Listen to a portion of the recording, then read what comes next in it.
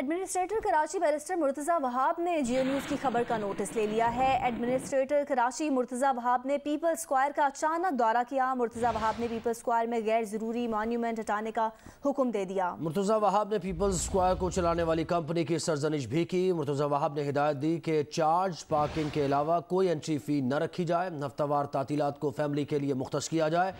मुर्तज़ा वहाब ने यह भी कहा कि यह जगह शहर के लोगों की तफरी के लिए बनाई गई है।